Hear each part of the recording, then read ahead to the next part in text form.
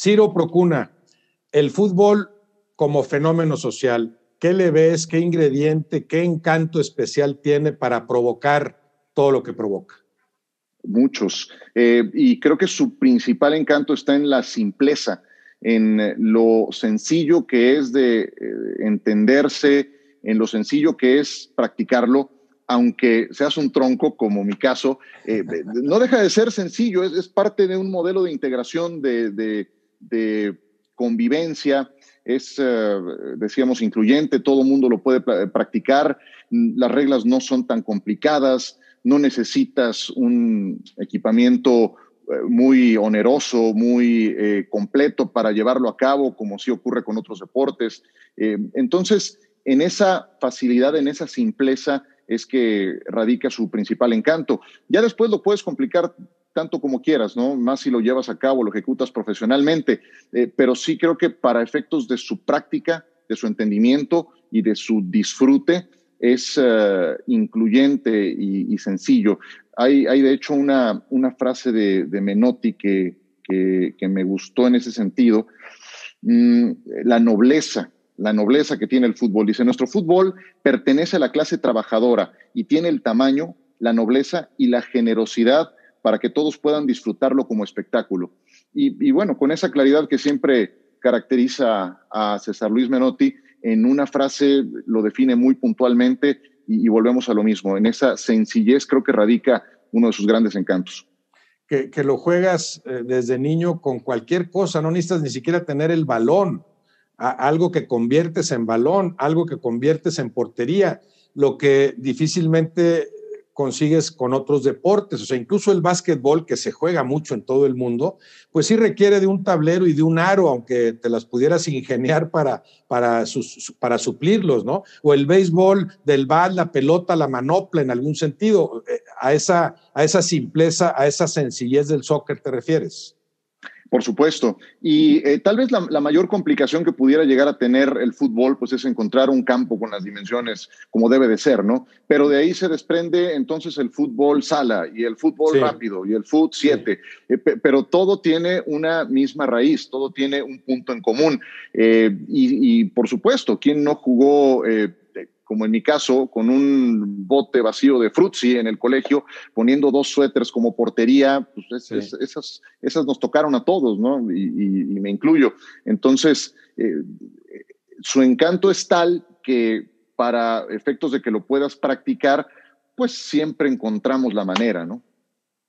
Como que si quieres jugar béisbol necesitas a otro, aunque bueno, ahora estas, estas máquinas que te lanzan pelotas y a la velocidad que lo pides para para eh, fungir y fingir como bateador, pero como que normalmente requieres de alguien más. En, el fútbol, desde niño, una pared es suficiente para rebotar la pelota, ¿no? Sí, sí, y esos otros elementos en otros deportes, pues te pueden servir para, para pulir, para irlo perfeccionando, para entrenar, para practicarlo, eh, pero, pero nunca será igual que una puesta en escena completa. Eh, y para efectos del fútbol, pues sí, esa, esa como decía eh, Miguel Mejía Barón, esa pelotita, de esa pelotita de la que comemos todos, pues eh, eh, sirve para efectos de, practicarlo, de poderlo hacer como tú mencionas, inclusive con una pared, nada más, ¿no? pero bueno, sí tiene, tiene muchísimos atributos el fútbol, pero sí creo que tiene ese gran punto de partida. Yo te diría que además, si uno le sigue rascando a los atributos, uno que se me quedó muy grabado, que, que recuerdo de mi primer mundial, pues tiene que ver con que se convierte en un lenguaje en común que todo mundo entiende, desde un japonés hasta un sudafricano, pasando por un croata, eh, un latinoamericano. Y, me acuerdo de ese mundial, eh, se me quedó muy grabada la, pasión y, la locura que puede desatar en un aficionado de rincones tan distantes del mundo para pintarse la cara, para provocar que hayan hecho eh, un viaje seguramente muy costoso hasta cierta ciudad francesa y todos unidos con un fin común. En ese mundial me tocó transmitir en Lyon el Irán contra Estados Unidos, 1998, épocas de mucha tensión entre ambos claro. países. Entonces fue un partido de alto riesgo. Con, habíamos estado en la sede de Lyon todo el tiempo con Adán Vega Barajas y con Carlos Moreno. llegado ese momento, notabas de inmediato cómo se, había multiplicado por tres eh, toda la, tensión que se sentía en el ambiente, los niveles de seguridad. Y al final en el juego no pasó nada, ni siquiera fue un partido ríspido, ni mucho menos. Simplemente estaban disputándose no quedar en último lugar de, ese mundial, no les había ido bien. Y, fue un buen partido, recuerdo, y lo terminó perdiendo Estados Unidos. Pero ¿cómo pueden dos países que eh, tienen tantas diferencias a otros niveles encontrarse en un terreno común para hablar un mismo idioma? Eso me pareció encantador. Claro, claro, los, los, principios y las virtudes del, deporte. Ahora, particularmente hablando del fútbol, todos esos ingredientes que mencionas o, parte de su encanto ha existido desde siempre y, sin embargo ha proliferado el gusto y la pasión por el juego en todo el mundo. ¿Eso a qué lo atribuyes? A, a que se haya producido tal proliferación. A que, eh, bueno, yo sí, sí, encuentro como un elemento fundamental esa simpleza. No necesitas de, leerte un mamotreto de, reglas para que lo puedas comprender. Pero para, que, ahora los, para que ahora los japoneses y los árabes y en África se vuelvan locos como que pensamos que nada más sucedía en México y luego entendimos que también en Europa, por supuesto, que, que, ha provocado todo esto, o sea, que se haya que se haya extendido a tal grado y arraigado en todo el planeta esto del fútbol.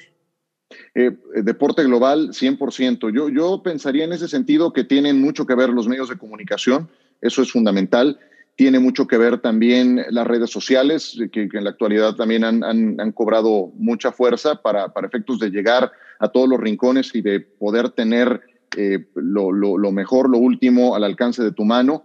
Eh, también creo que algo habrá ayudado el que se hayan llevado mundiales de fútbol a sitios como Japón, y Corea, por ejemplo, en el 2002. Aunque debo decirte ahí que a mí, a mí me tocó cubrir ese mundial todo del lado japonés y cuando empezaba a aprender ese mundial, cuando ya Japón había logrado el pase a la siguiente ronda, ¡pum!, que pierden en octavos de final con los turcos. Sí. Eh, eh, ese juego que me tocó hacer en Sendai, eh, me acuerdo que era un hervidero en favor de Japón, como no lo había visto en todo el mundial. Y pierden. Yo lo lamenté mucho porque dije, es que entonces ya no prendió, ya no prendió el mundial acá. Y no, no prendió. La verdad es que jamás lo noté, estuvimos de base junto con Héctor Eugui en Tokio. Y Tokio, que es una, una ciudad que te come, que, que es, es, fantástica, pues ahí parecía que les había pasado de noche el Mundial. Día de juego y llegabas y lo buscabas en televisión y no aparecía en un restaurante, en un bar, no. O sea, como que ellos seguían en su mundo, ¿no? Eh, entonces, de algo habrá servido también el que, el que esos mundiales hayan llegado a, a diferentes rincones, el que se organicen no nada más mundiales mayores, sino también juveniles, eh, con límite de edad en, algunos otros países. Creo que todo eso contribuye a que, a que este fenómeno global siga creciendo.